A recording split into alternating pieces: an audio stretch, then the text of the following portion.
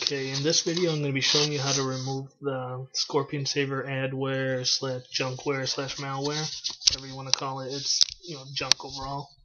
Okay, so what I'm going to be doing to remove this first is I'm going to open up um, CCleaner. I'm going to be using that. I can do it without it, but I prefer to use it because everything's kind of all in one there.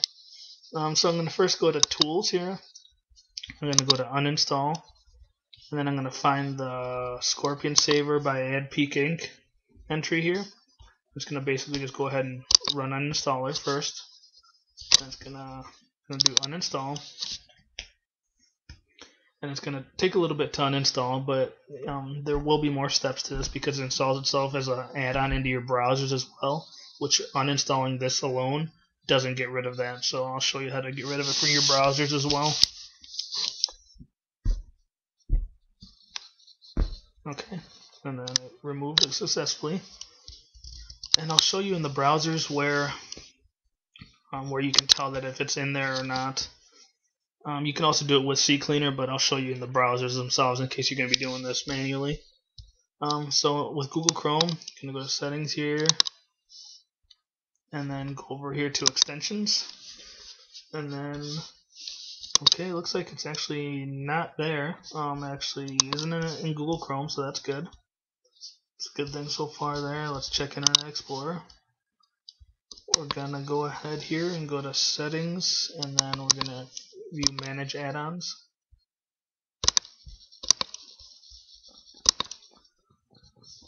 And then, yep, I see Scorpion Saver there. And so we're gonna go ahead and get rid of that using our CCleaner program. Gonna go back to CCleaner here, startup. And first thing I'll check in startup is make sure in Windows that it's not set to start up. Cause sometimes they'll be set they'll set themselves to restart back when you reboot the computer and reinstall itself. So I don't see it there. I don't see it as a scheduled task either. And sometimes it'll be here under context menu as well, but it's not there. So first thing we're gonna do, go to Internet Explorer here, go to Scorpion Saver entry. You're going to hit disable. You're going to click it again here and click delete. And says, are you sure you want to do this? Yes. And we're going to check Firefox. It's not installing Firefox, but the process would be the same. In Google Chrome, it looks like just simply uninstalling the program took care of the Chrome one, so that's good. And I recommend after doing that, um, going to Computer and double clicking your C drive and going to program files and checking to make sure there isn't any Scorpion Saver entry still left in here. If there were, you could just go ahead, click it, put it in the recycle bin, and delete it. So it looks like it's pretty well gone now at this point. Um, let's double check Internet Explorer because it was showing as an add-on in there. Let's see. Yep, it's gone from there, so we are good to go Another thing I recommend doing after doing the removal is going ahead and just go into cleaner and then just clean your temp file just to make just to get rid of any crap that it might have left behind.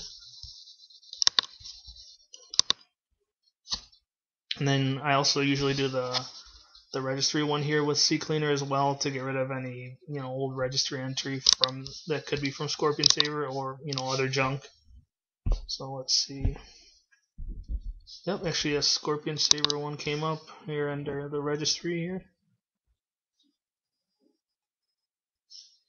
And I'm just gonna go ahead and fix selected issues. Don't back, I don't need to back that up. It's not something I would want later in the future.